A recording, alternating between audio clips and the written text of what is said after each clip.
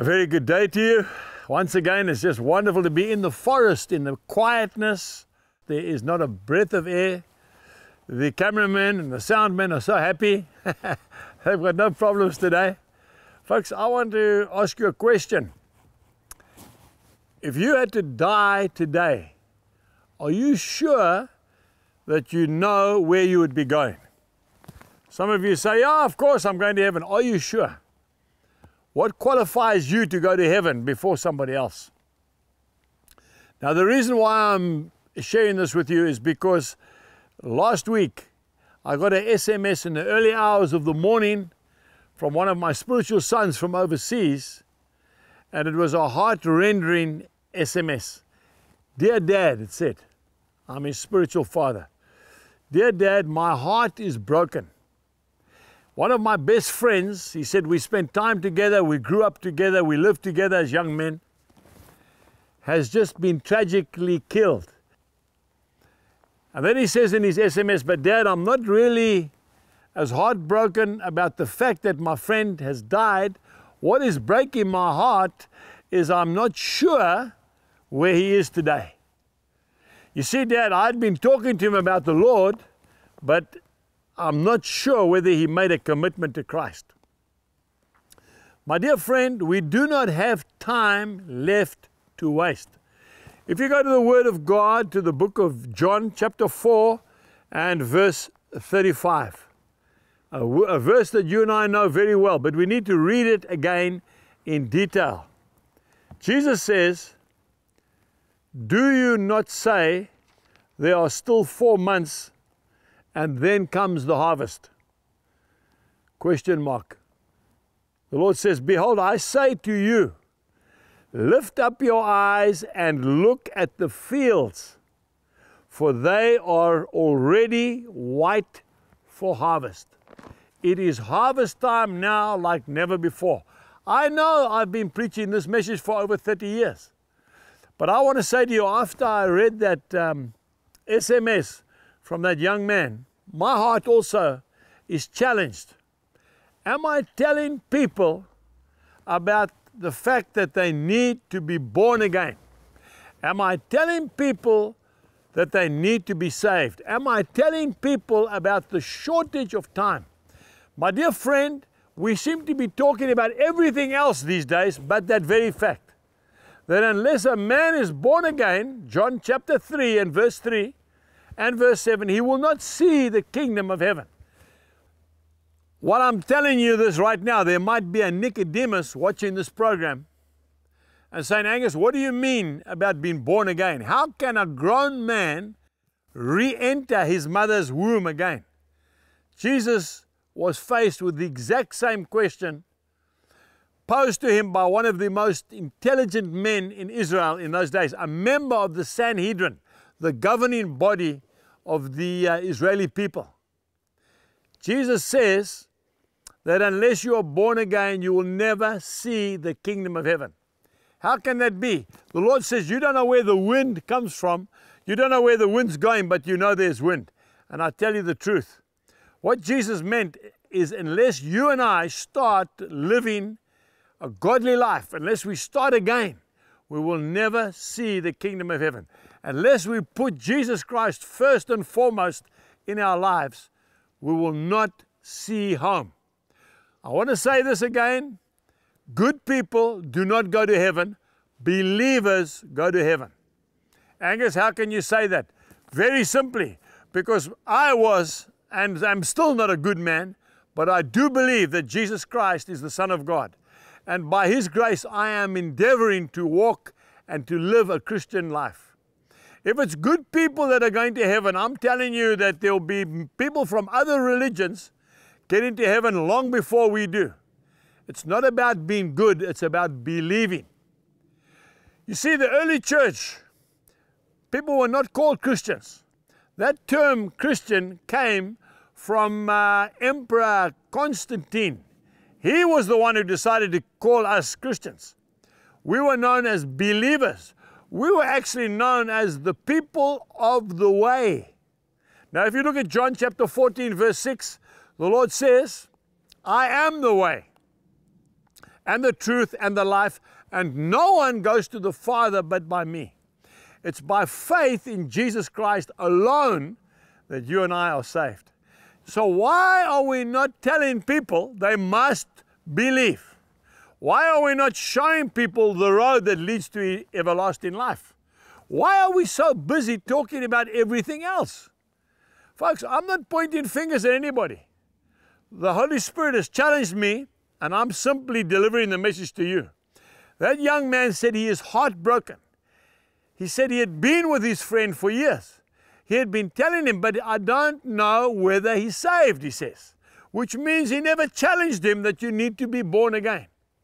So, what must I do? Nicodemus said that. That's why he came to Jesus by night. He never came during the day because he didn't want to become a laughing stock because Nicodemus was the holy man. Nicodemus was the theologian. He was the man that knew this book. Jesus was a carpenter from Nazareth. But when he saw the miracles and the signs and the wonders that this carpenter performed, Nicodemus knew that this man had something that I want.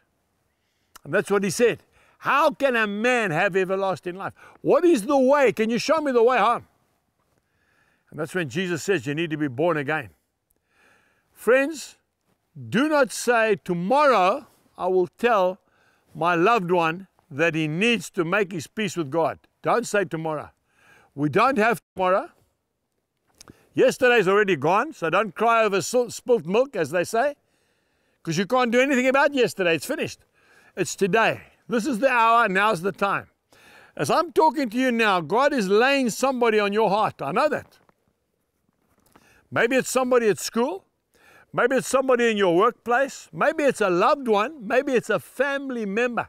And you have not spoken to them about eternal life. And that's why there's an uneasiness in your spirit as I'm talking to you.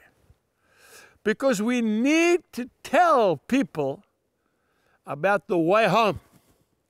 What I'm experiencing when I'm traveling all over the world, people are so concerned about now. Folks, it's important to look after yourself physically. It's important to discipline yourself. It's important to talk about this life and where you're going to live and um, how you're going to save up for your old age and about this pension policy and that. But you know something? If the Lord calls you home tonight, all those things will equal nothing because you are taking nothing with you from this world when you leave this world. You are going to leave this world, the Bible says, the same way you came in. And you came in with nothing and you're leaving with nothing. So, what can we take with us, Angus? Souls, people, your children, your parents, your loved ones. That's what you can take with you.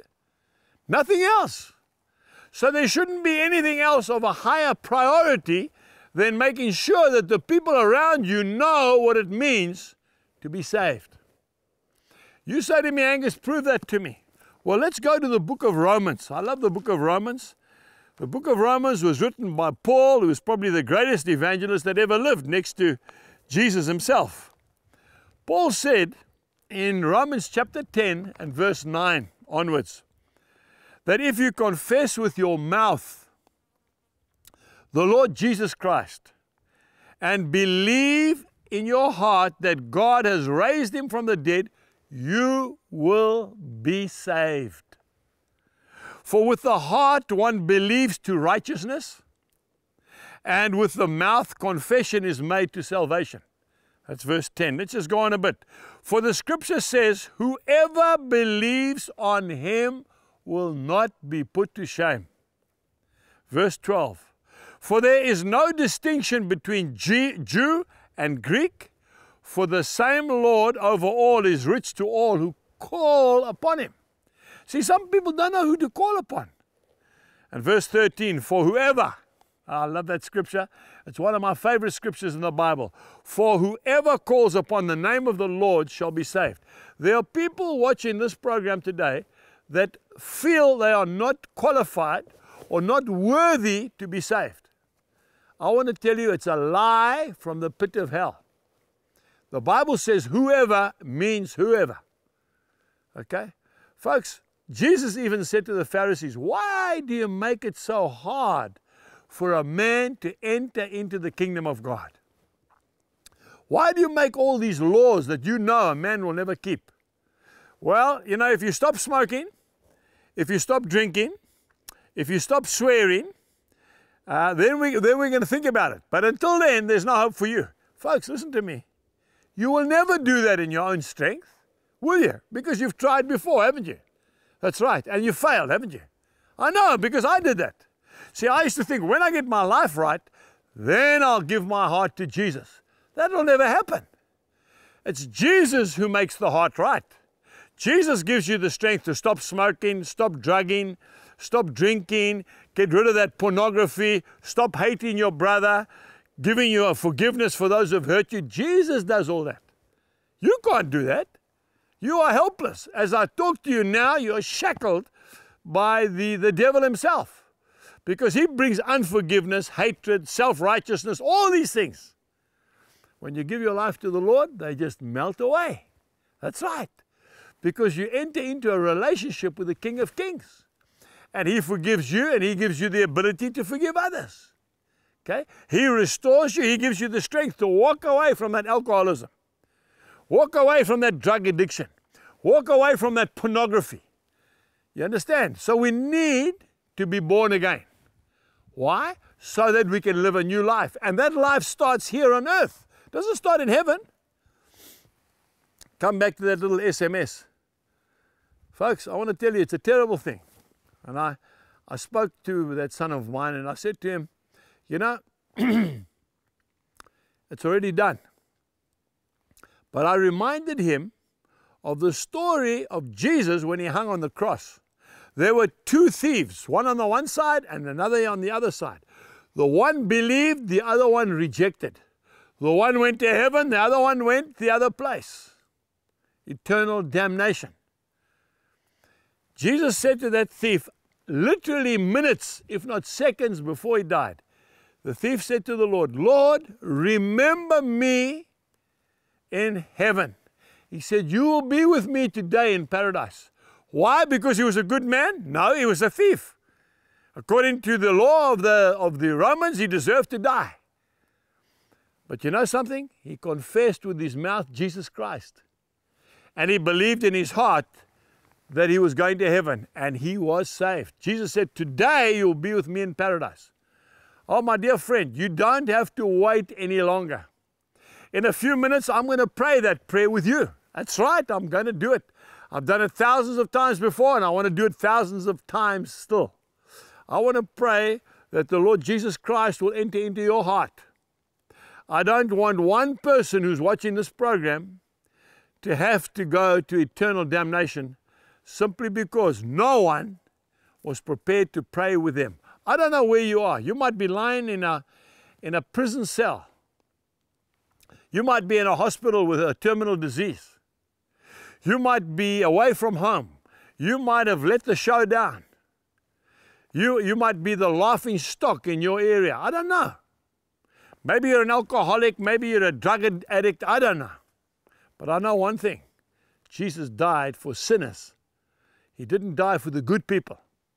He died for the prostitute, the drug addict. I want to tell you something now. He died for people like me, losers. And He gave us a second chance.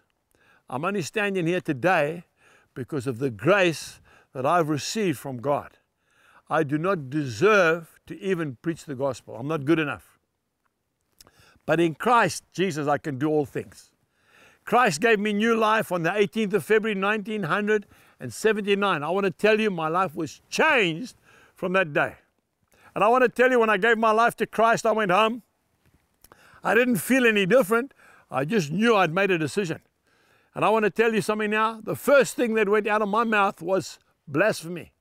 I had a terrible language because I've got a limited education and I battle to express myself. So I used to swear constantly. That was the first thing that just went. I've never sworn since that day. I've shouted a lot, but I've never sworn. That was a miracle. And so no one is, is exempt, okay, from going to heaven. Whoever calls upon the name of the Lord shall be saved. I want to tell you, I enjoy preaching to uh, people who know they've got a problem rather than those who think that they're okay. What am I saying? I'm saying that the man who lies in the gutter because he's drunk too much and he's given up on life, that man knows he's got a problem. He's got a greater chance of going to heaven than the man that sits in the, in the pew in the church with his name printed in brass behind. That's his chair. And he goes there every single Sunday and he's got no intention of serving God. He's got a problem. He, he doesn't know that he's got a problem. Do you understand what I'm saying? What I'm saying is, unless you make a person aware that he needs to be saved, he doesn't think he's got a problem until he dies. Folks, I've told you this little story before in this program. I want to tell you again. This is my interpretation of what the Word of God tells me. On the day of judgment, our Heavenly Father will be the judge. Jesus will be the defense attorney, and the prosecutor will be the devil. And when you and I walk through that door, our Heavenly Father, who's a God of compassion and love, is going to have one look at us and he's going to look at his Son and he's going to ask Jesus, our Savior, our protector, our best friend, he's going to ask one question. He's going to look at his Son who he loves so much. For God so loved the world that he gave his only begotten Son, that whosoever believes in him, believes in him, shall not perish but have everlasting life. John chapter 3, verse 16. He's going to ask that son, Son, do you know that old farmer, Angus Buchan, walking through the door? And by the grace of God, Jesus is going to say, I know him, Father. He's my friend. And our Lord is going to say, Let him in. If I walk through that door and I've been working all my life, I've been working in soup kitchens, I've given away millions and millions of dollars. I've been working my heart out, but I have never acknowledged Jesus Christ as my Savior and my Lord. When Father asked that question, Jesus is going to be, has to be honest. He's going to say, I've never met him before. I don't know him. And I'll tell you what, the judge, the righteous judge, is going to say to the devil, take him away. Because we don't know him. It's not about good deeds. It's about faith. Faith in what? Faith in the Son of God. Faith is the substance of things hoped for, it's the evidence of things not yet seen. Hebrews chapter 11, verse 1. I want to tell you that Thomas, and by the way, I love Thomas. Don't, don't you think that Thomas is condemned? Thomas is in heaven. You know why Thomas was known as the doubter? Thomas is known as the doubter because he said, Unless I can put my finger through the hole in his hand where he was crucified, unless I can take my hand and put it in his side where the spear went, I will not believe that he's been resurrected. Now, we can't condemn Thomas for that, folks. I heard a wonderful teaching once on Thomas. Thomas was so sincere, like a lot of you watching this program. He was so honest. He was saying, unless I can see it, I won't believe it. Okay? And then Jesus just appeared in the room in front of them. He didn't walk through the door, he appeared before him. And Thomas fell to his knees. He said, My Lord and my God. And Jesus said, You say that, Thomas, because you can see me. But blessed are those who come after you, who have not seen me and yet they still believe. And that, my friend, is you and me. We need to believe. Maybe you even need to say on this program, Lord, please increase my faith. That's what the disciples asked, so that I can believe. Luke chapter 17, verse 5. It's a good scripture. But I want to say to you today, you do not have time left to play the fool any longer. Many of you watching this program are know, you know exactly what I'm saying. Okay? There was a time, you can tell me, when I was in love with Jesus Christ. And maybe the church, maybe the pastor, maybe the elders, I don't know, they, they, they put me off. And I don't want to see the back of a church ever again. I'm not talking about church. I'm talking about a person. His name is Jesus Christ. And he says that if you confess with your mouth, okay, believe in your heart, you shall be saved. Now I need to pray that prayer with you. Why? Because I want to see you in heaven one day because good people don't go to heaven, believers go to heaven. And I don't want that, that young son of mine to be brokenhearted again because somebody else that maybe should have heard the gospel never had the opportunity because no one told him. Folks, you're working in an office next to a person who does not even know that you're a believer because you've never told them. Well, Angus, that's a private thing. It's not private, folks. When a man's on his way to eternal damnation, that's not private. That is tragic. You don't know what tomorrow holds. So I'm going to pray two prayers. The first prayer I'm going to pray is for you and me to repent of our sins, to ask Jesus Christ to be Lord of our lives, okay? So that we can move on, so that we can have eternal life. And the second prayer I'm going to pray is that God will give you and me the courage of our convictions to be able to tell that person that you're sitting next to in the aeroplane, you've got 10 or 12 hours to sit next to him, do you know Jesus? All the person can say, I'm not interested, but at least you've given him an opportunity. What about if he hasn't heard? What an opportunity to say, listen, I want to tell you about my friend. He saved me. And uh, you can have him as well. What must I do? Just pray this prayer with me. What must a man do to eternal to inherit eternal life. He must believe. So, will you pray that prayer with me? Close your eyes and let's pray. A prayer, first of all, of commitment. And then you're going to tell the first three people tomorrow what you did today. Okay? Or a prayer of recommitment. Let us pray. Father God, pray after me. Father God, I thank you for Jesus Christ. That if I confess with my mouth Jesus Christ and I believe in my heart that he's been raised from the dead, I shall be saved. I do believe, and I ask you, Lord, to help my unbelief. I believe that you died on the cross of Calvary for a sinner like me. I believe that you were buried and you remained in that tomb for three days. But on the third day, you rose from the dead and you are seated in heaven at the right hand of my Father.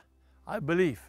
And because I believe that, Lord, and because I've repented of my sin, I shall have everlasting life. Amen. May God bless you. Now, the second prayer, and it's a short one. Pray this prayer after me. Lord, give me the courage of my convictions. Give me the courage to speak to my neighbor and to tell my neighbor, because I am my neighbor's keeper, according to Genesis 18 14. Give me the courage to tell him the way home. In Jesus' name, amen. May God bless you. And go and do it, folks. It's a wonderful thing to see a man coming into the kingdom of God. It is an awesome experience to see a person who's so lonely, so down and out, so hopeless, all of a sudden to see the light of life. This is not the end of the road. We're still going home. This is only the beginning of the journey. Praise God. Bless you. And remember, I'll see you there.